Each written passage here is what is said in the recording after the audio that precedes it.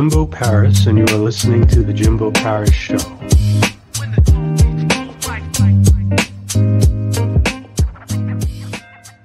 All right, how's it going, everyone? Jimbo Paris here. Welcome back again to The Jimbo Paris Show. So today we have Matthew Harms, ghostwriter, famous coach. He is very focused, I would say, on the idea of career involvement, you know, improving one's career and sort of just helping you kind of become sort of the best version of yourself when it comes to general career readiness. Yeah, let's see what he has to say. Hey, Jimbo. How's it going, man? What you up to? Everything's fantastic. How about you? Good, good. I like the shirt. Looks good. Ah, thank you very much. I, I dressed up for you. if you catch my podcast, um, usually just in a hoodie. All right, all right. So this show is going to be all about you. So I think the first question I'm going to begin with is kind of tell me something that is interesting about yourself. I guess the most interesting thing I can think of is what I'm doing now, ghostwriting, was an accident. Never intended to be a ghostwriter, never even realized it was a real thing until the pandemic happened and someone convinced me to write a book for them. Okay. And what are you currently doing right now? My main thing is the ghostwriting. So I do my own writing uh, on the side, but I help business owners, entrepreneurs really get differentiated from their competition by putting their knowledge, their expertise, their experiences down into a book.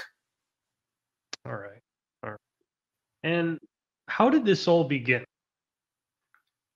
So I've been writing since I was a kid. Growing up in the Bronx, I was told that's not a real job. You've got to go to college, you've got to get a degree. But that was pretty much where the advice stopped. So I went to college because it was better than the option of having to move out. Got a degree in finance, figured I'd work on Wall Street, make a ton of money. And unfortunately, that's not really the way it works because with only a bachelor's degree, you don't qualify for those higher level jobs. Wound up getting sucked into a 20 year career in retail financial services, doing anything and everything you can imagine um, selling insurance, financial advice, uh, working in banks until 2017, I decided to get back to writing. I wrote my first book, Employed a Career Readiness Manual, which was really for younger people looking to start out in life and how to set them up for figuring out what they want to do. And then once they've done that, how to interview properly, put their best foot forward, give them the most chance for career success.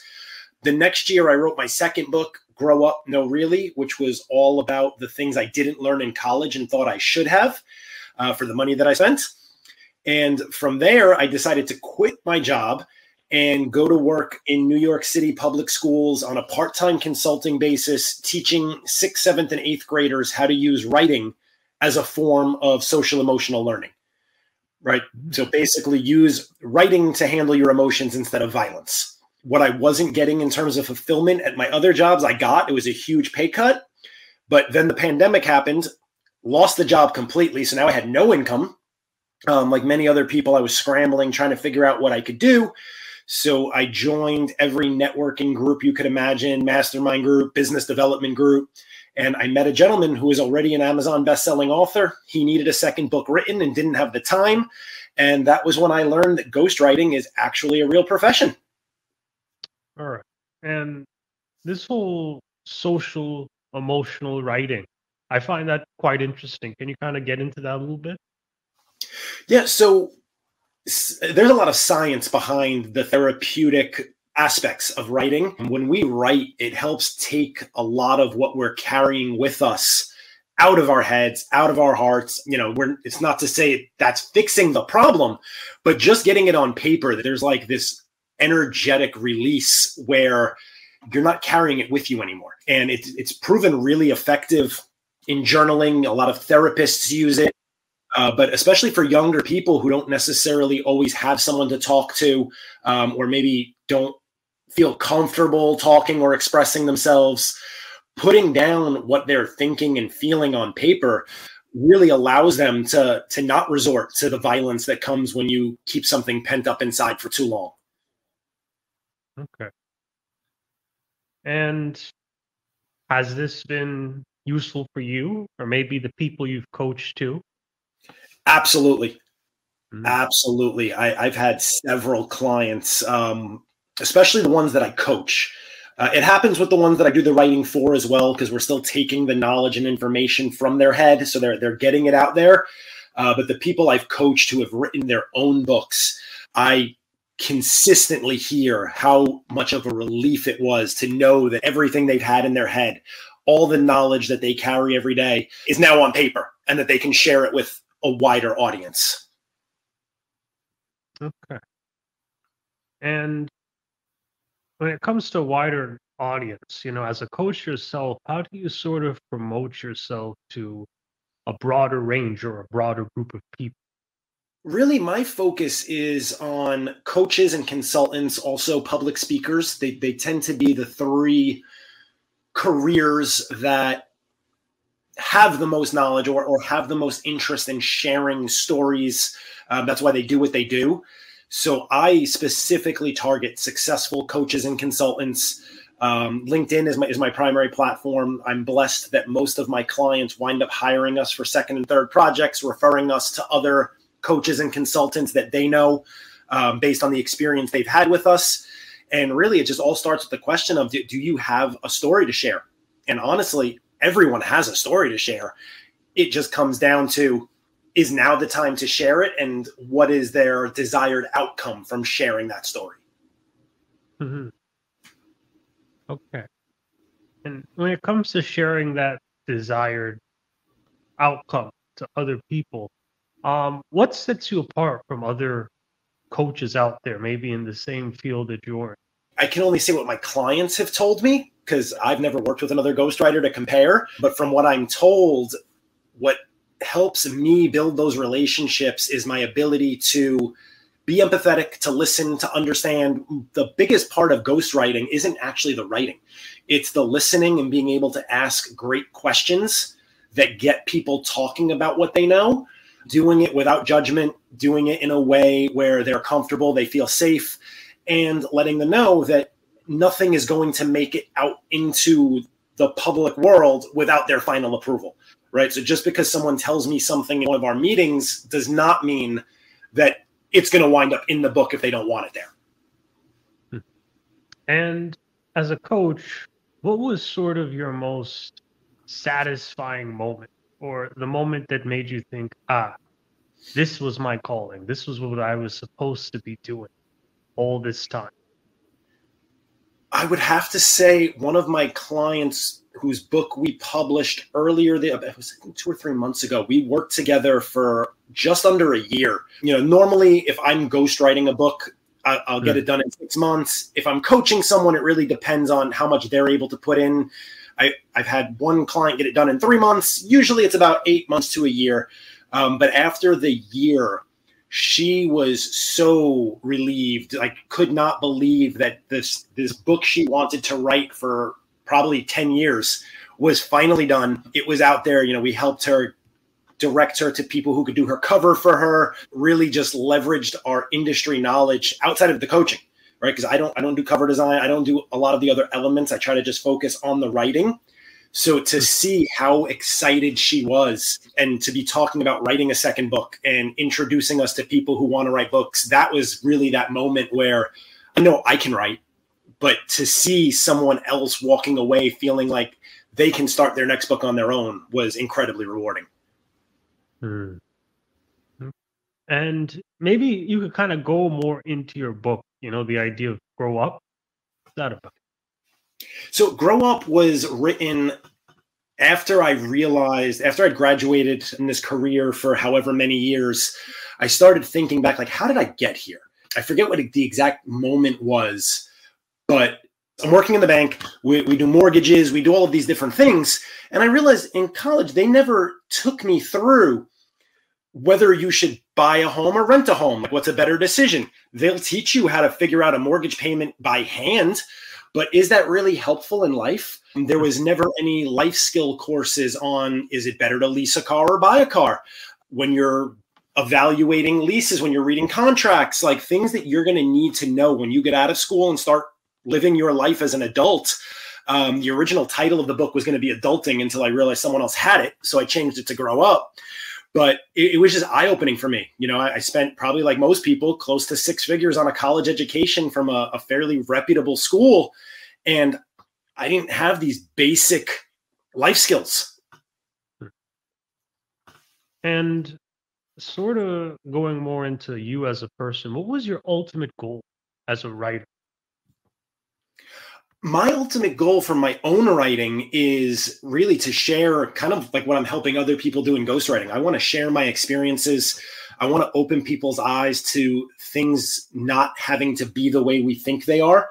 Right. So, in my example, I was told you have to go to college, you have to get a good job. But I never questioned that because that's what I was told right? But really, there were a million questions that could have been asked. What What do I study? What's a good job? Like, what's your definition of a good job? Jimbo's definition of a good job might not be Matt's definition of a good job, and that's what I want people to realize is. If you read my book and say, nope, I, I still think that banking career is right for me, hey, great. I mean, we need people that do that. We need garbage men. We need we need people who write books. We need policemen. There is there is no one size fits all solution. So I'm just hoping that someone who reads my book who may be in a situation where I was can take away from it that they don't have to follow the path everyone's telling them to go down. Speaking of garbage men, you know, there's certain garbage men and fighter fighters that make six figures every year. So so that's actually covered and employed because there's this negative stigma around certain mm-hmm. professions, right? And you know, when it comes to ghost writing, you know, have you ever asked someone to write for you? And what are your beliefs on the idea of ghost writing? So I've not needed to ask someone to write for me, thankfully, because I kind of get it done myself. My thoughts on ghostwriting originally, when the idea was presented to me, I kind of felt almost like it was a like cheating.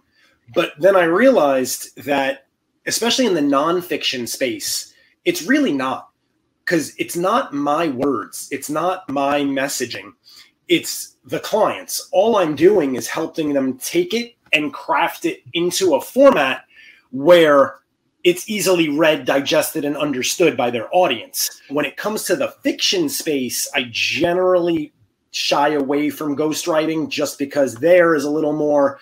I, if you have an idea, a, a fictional concept that lives in your head, um, I don't know that I can really bring that to life for you hmm.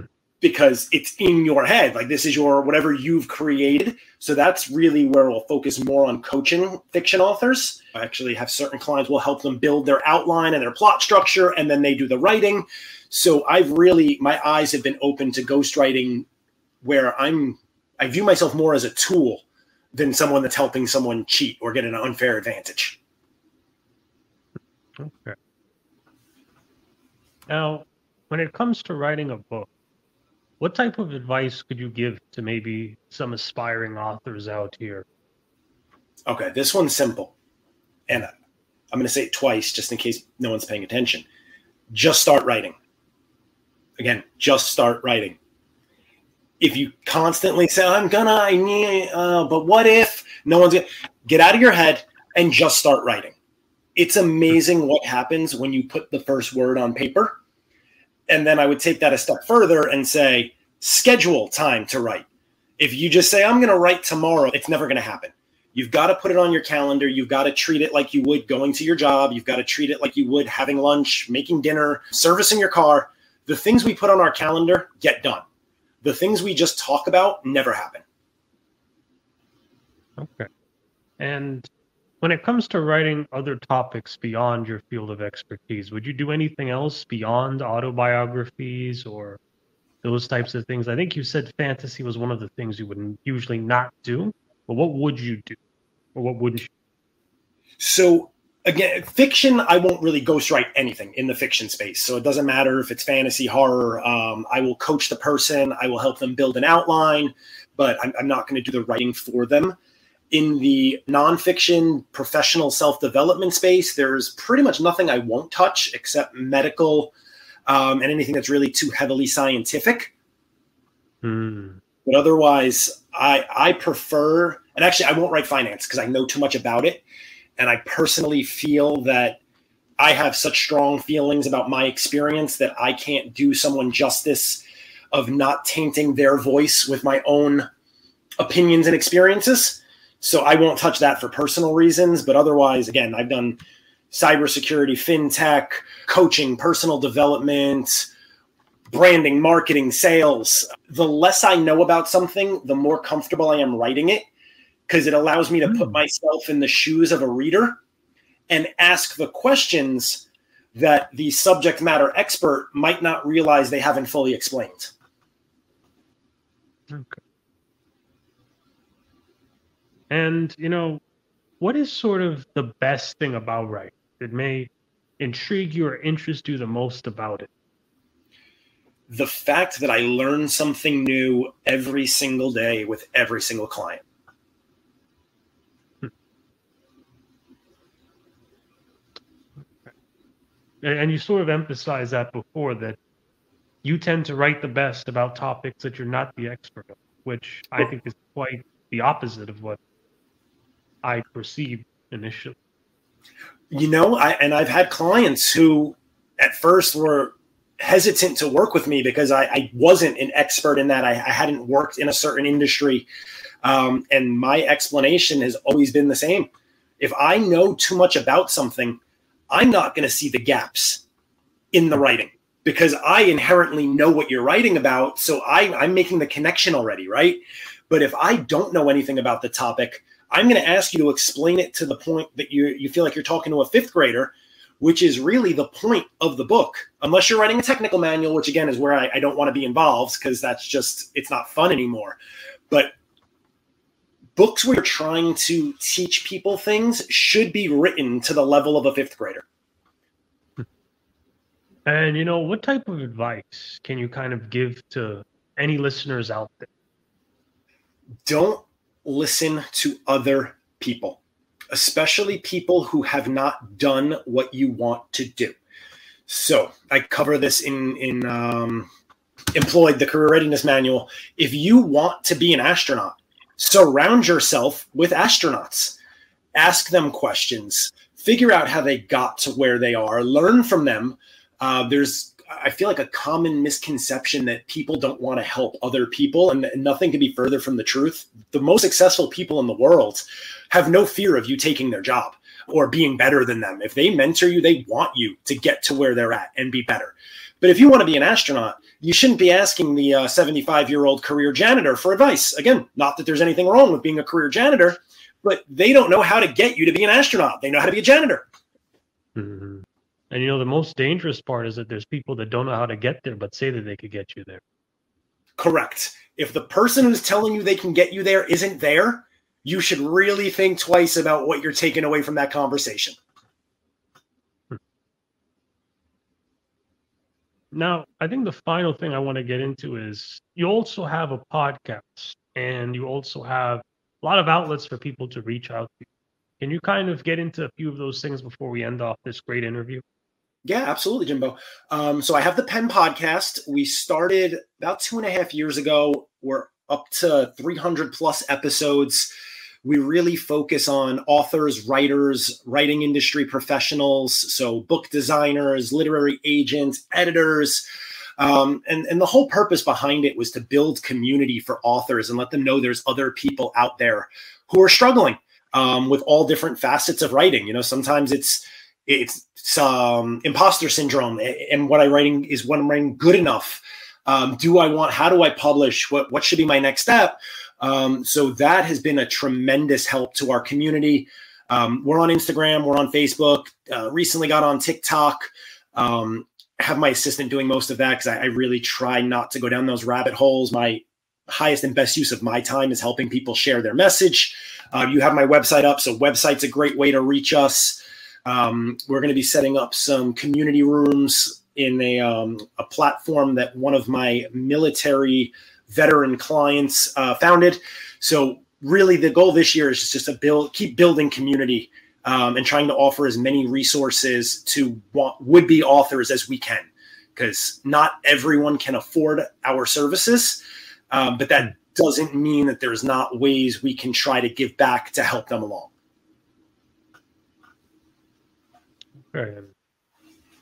You've got a website. Do you have any social media or any other places people can reach you out at? Or yeah, Instagram, TikTok, Facebook, they're all pen for hire.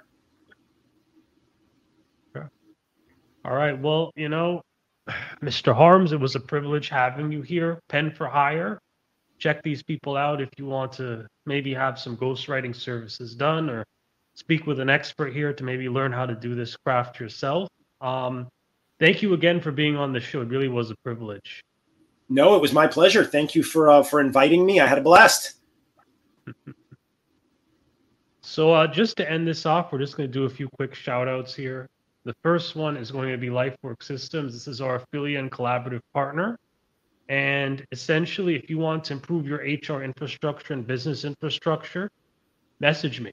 And this woman can help you out if you're a business of a 100 or maybe more people. Next one is our YouTube channel. Please subscribe to that, ring that bell, and you can get exclusive updates on when the latest episodes are coming out. And then our Roku channel, we're also on Roku TV, so look at us there too. Next one is our Ko-fi. Please donate to us, give us a donation, buy us a coffee so that this show can continue running ad free and we can continue giving you great content like this. And final thing, Jimbo Paris Academy, we will be giving out exclusive free courses on how to build your own digital online business, how to train virtual assistants, and build your podcast with the lowest costs with editors, all those other people. Without me included, you can build an entire business as low as $2,000 a month. So, yeah, reach out to me if you want to do that too. All right. So again, thank you for looking at the show. This is the Jimbo Paris Show. Thanks again. Thanks, Jimbo.